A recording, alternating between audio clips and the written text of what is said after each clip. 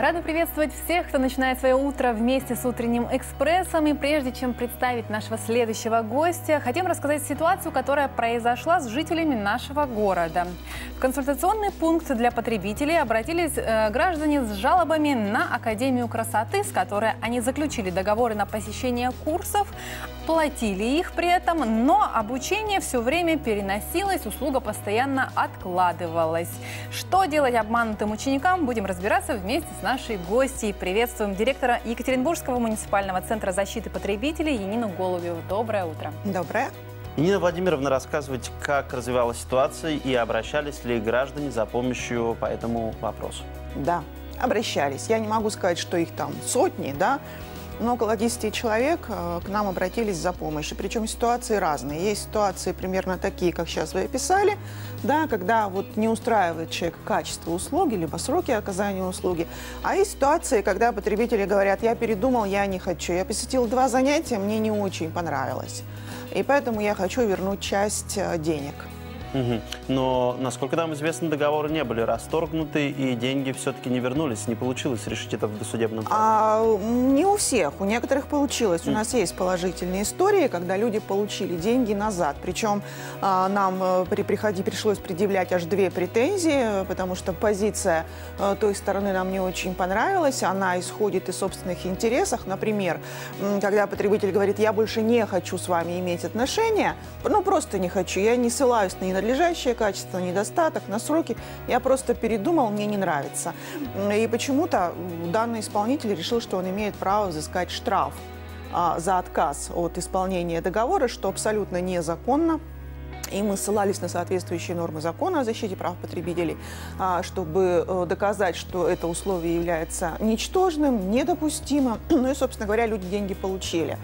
А мы знаем, что на сегодня Роспотребнадзор готовит э, коллективный иск, а, но у нас а, на сегодня позиция такая, что люди, которые приходят к нам, мы либо в претензионном порядке помогаем решить эти споры, либо уже будем готовить иски в суд, но пока индивидуальные. Там посмотрим, как будет развиваться история. Да, ну, разумеется, многие наши телезрители сейчас встанут на сторону клиентов и скажут, ну да, это абсолютно правильно. Но с точки зрения человека, который в том числе тоже оказывает услуги, я могу понять и исполнителя.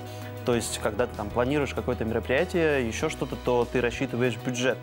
Э, какие причины законные, какие незаконные для расторжения договора, чтобы и те, кто занимается оказанием услуг, тоже имели это в виду?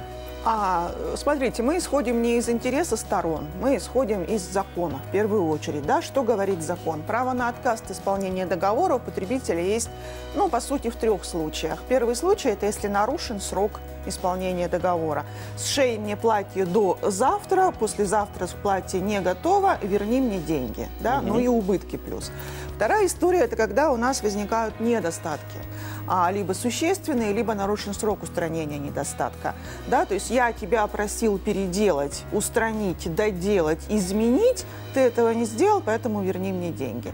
И третья история – это как раз, когда нет вины сторон. Вот то самое несправедливое, о чем вы сейчас сказали, да? А, когда в договоре люди, но сторона потребителя, да, то есть это человек, который заказывает не для предпринимательских целей, вдруг решила, я не хочу. Ну, условно говоря, я покупаю покупаю тур на август, но передумал. Ну, потому что передумал, или потому что мне не дают отпуск, или потому что у меня изменились жизненные обстоятельства. Посмотрел а неважно, погоды. просто, да, я просто уже не хочу.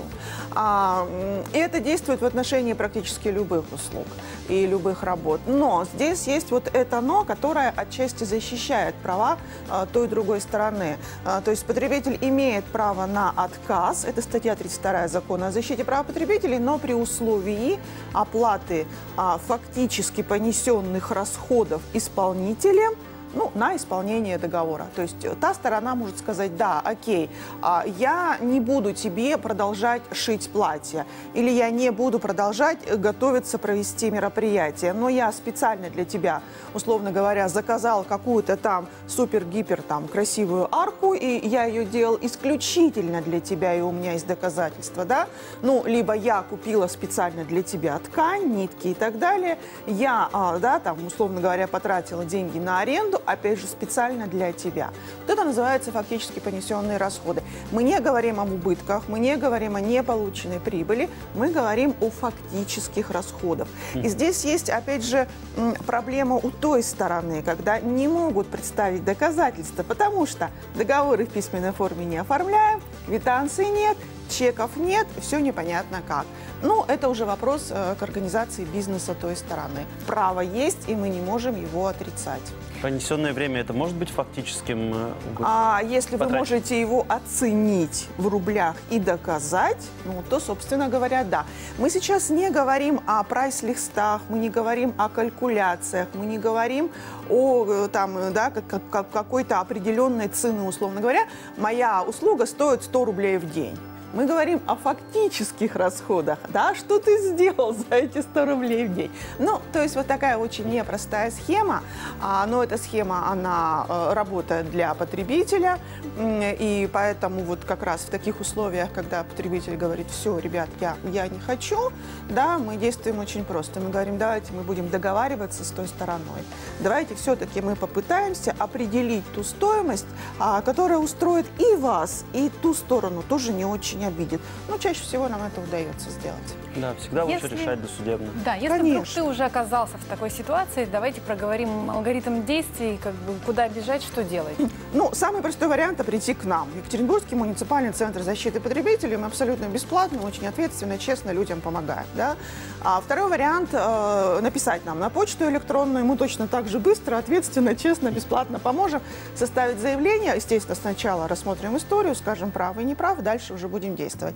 Если потребитель хочет самостоятельно отстаивать свои права, что тоже абсолютно нормально, да, а, то мы говорим о том, что нужно сначала попытаться поговорить, но попытаться поговорить не раз, два, три, пять, десять, да, и не переписываться в чатах, а один раз ходили на переговоры, и не получилось, а потом уже решать это все в письменной форме, то есть заявление, э, претензия, э, документ можно никак не называть, но где написать э, «я хочу, э, у меня случилось это, прошу вернуть столько-то» и отдать это под роспись, ну, либо отправить э, почтовой службой с системой отслеживания. Да, но все-таки хочется отметить, что в э, таких ситуациях очень важно правильно оформить документы Да. и лучше всего обращаться к специалистам. Абсолютно Спасибо большое. правильно. Сегодня у нас в гостях был- была директор Екатеринбургского муниципального центра защиты потребителей Енина Голубева.